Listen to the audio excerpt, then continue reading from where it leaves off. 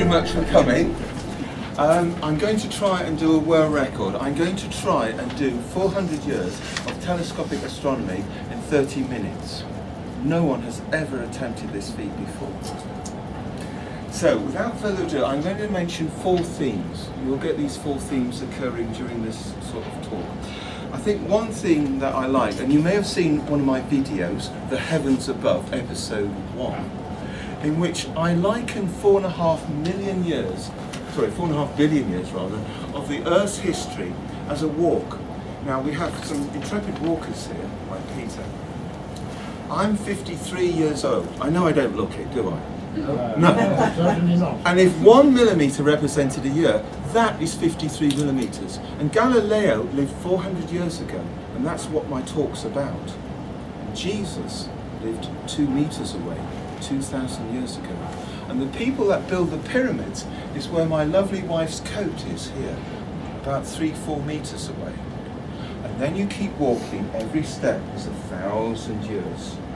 Past the Ice Age, 10,000 years, on and on and on. In London, 65 kilometres away, 65 million years ago, there were dinosaurs, which were wiped out by an asteroid.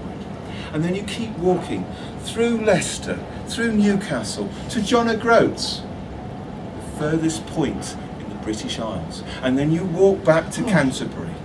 Very tired now, aren't you? Oh. Each step is a thousand years. And then you walk back again. And then you walk back again. You have to do that journey four times, four and a half thousand kilometres. And remember, each millimetre is a year. So, that's one idea. There's another idea. Who likes digging sand and making sand pits and putting your mum and dad in there? Yeah? Okay, so you've built your sand pit. Each grain of sand is less than a millimetre. If I had a metre cubed of sand, that's a billion little grains of sand. There are more stars in the universe than there are grains of sand. All the beaches, Bali, Blackpool, California, oh yes, oh yes, Queensland, Australia. Dig up every single grain is a star. There are more stars in our universe than there are grains of sand. Well, I thought I might live for 70 years because the Bible says I will live for three score years and ten, and that's two billion heartbeats. You might live for 70 years, and you might live for 70 years, and you might live for 70 years. Do you know how many people there are alive today? Nearly 7 billion people.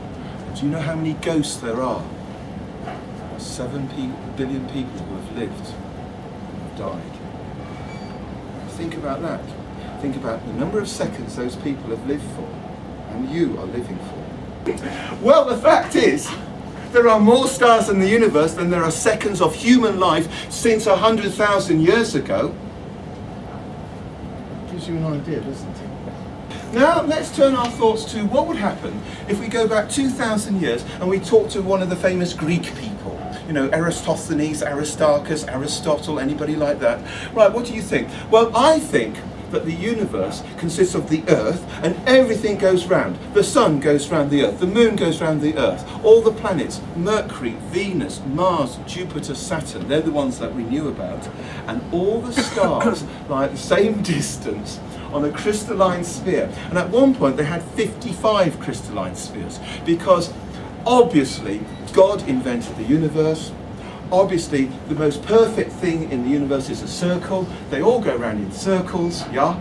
But if you ever watch a planet, they do retrograde motion every now and again. Now you can explain this very easily if you have all the planets going around the sun, but they believed in this model. Once you start believing in a model, and you don't believe in evidence, if you don't like science, but there were some really great scientists, I must mention Aristarchus. Aristarchus actually measured the distance to the moon and the distance to the sun. All right, he got it slightly wrong. He said the moon is at a certain distance and the sun is 19 times further away. It's actually 400. But for goodness sake, that's pretty good, isn't it? And Eratosthenes, he measured the diameter and he measured the circumference of the earth. He got it within a few percent. My IB students would be quite proud to do that, wouldn't they? You can laugh at this point, you know.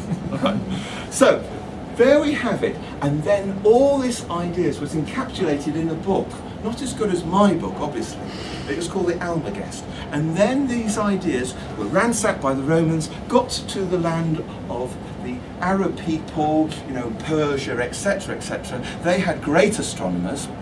They did a lot of work themselves. And then, through conquest, through Spain, and up through the whole of Europe, these ideas were promulgated such that the, um, the Roman Catholic Church liked these ideas. The fact that everything went round the earth and we're the most important creatures on the planet and God invented us, this is, this is just, just right. I mean, when Joshua said, sun, stop in the sky, this is the sort of thing you want, isn't it?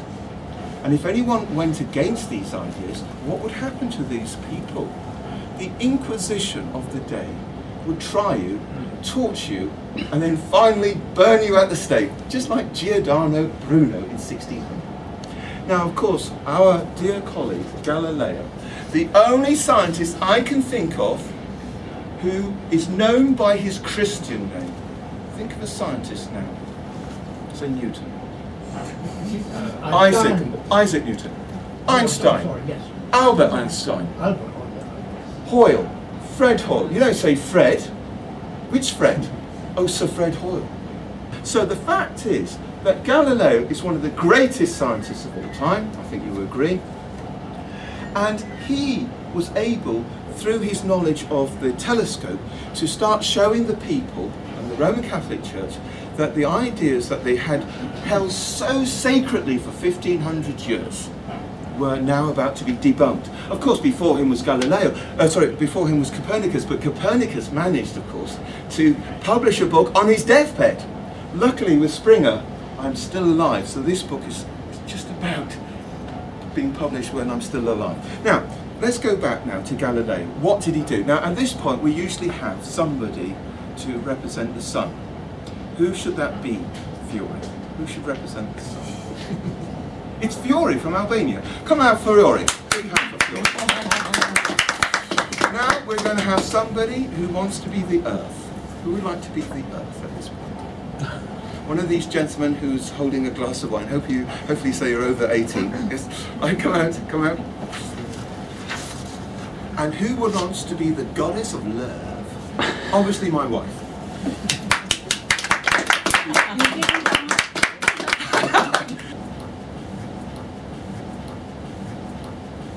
I want you to go round Fiore. I want you to come here, sir. Just, just watch what this sun's doing. Now, I want you to point the telescope at Venus. When I say stop, I want you to stop. Stop! Do you agree that is roughly 47 degrees? Say yes. Yes. and do you realise that the sun is illuminating the beautiful face of Venus? You say yes? How much of Venus can you see? This is darkness, this is light. How much of Venus can you see? Correct. Now I want you to go behind. How much of Venus, uh, sorry, how much of Venus can you see? Can you see the whole face? Face, face the sun, darling. Can you see the whole face? Just say yes. Correct? Yes? Yes. Good. Excellent. So you can see, but Venus is quite far away, would you say? And then Venus come around the sun here, face the sun. And can you see the sun? And all of this beautiful face is illuminated. How much of the Venus can you see? Say half. Excellent. And when you're here, darling, all we see is a tiny crescent. When I say tiny though, because you're closer to Venus, you will see a slightly larger view than when you looked at full Venus. Can you all sit down? And big hand for Venus, Earth, and obviously the Sun.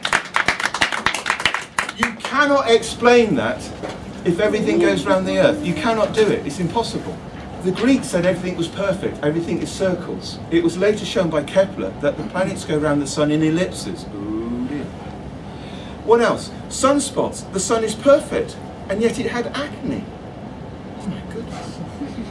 So, Mercury, by the way, his telescope wasn't good enough. It wasn't as good as, say, these binoculars, these beautiful Olympus binoculars. But the lens is about the same size as what he produced, 30, 38 millimeters. Yeah? Yeah. Now, what else? He saw Jupiter. Now we could have a big man like this man here. Jonathan, would you like to be Jupiter, sir?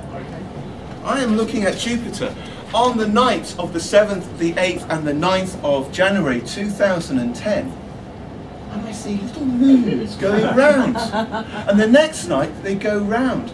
And sometimes there's a moon near his ear, and sometimes it's near his nose, and sometimes it's near his ear, and they go round. And he says, hold on, if everything goes round the earth, what about this example? They didn't like that. Sit down, Jupiter. Thank you very much indeed. There is one problem, and Galileo couldn't explain it. You might not be able to explain it, but let's just see what the problem is. I want you to take a finger and blot me out like this, uh, but with one eye. So the right eye will blot me out. Blot me out. This sounds like one of these religious programs? And now, close the right eye and open your left. Am I blotted out?